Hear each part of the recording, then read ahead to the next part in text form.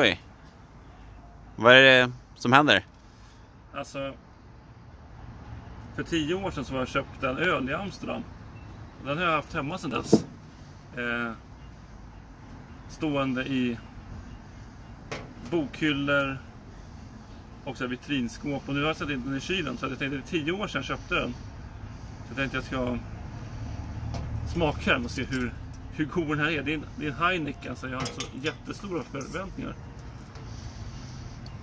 Men det är, det är minimalt med bubbla. Det är lite bubblor i den fortfarande faktiskt. Men väldigt minimalt. Vad tror du? Ja, jag tror eh, rätt avslagen Rätt skulle jag tippa. Väldigt avslagen. Men lukten är ju... Det är väldigt sur lukt. Okej. Eh, när den den stått varmt, alltså liksom luft... eh, Jag vet inte. Eh, luft... Eh, vad heter det? Rumstempererat heter det. Men nu har den stått i kylen i ett par timmar här, så vi tar en klunk då.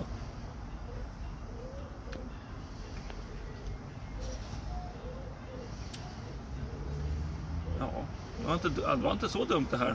Eh, Var det bättre eller sämre än du förväntade dig? Eh, Det var mycket bättre än jag hade förväntat mig faktiskt.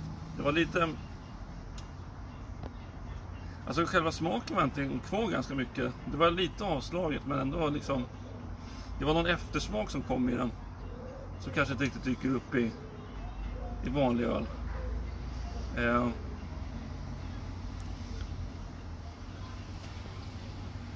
Om man ser här om man... Så ser man att det bubblar rätt ordentligt fortfarande när man liksom tar en klunk. Så att kolsyran har inte gått ur den heller egentligen. Så 10 år gammal Heineken funkar fortfarande. Den funkar fortfarande. Eh, den var nog, jag skulle säga att den är give or take lika bra som den säkert var för 10 år sedan. Så 9 av 10 Heineken solar, vilket är kanske 5 av 10 riktiga solar. Tycker jag. Så får du ta en klunk och testa här också. Mm. Mors!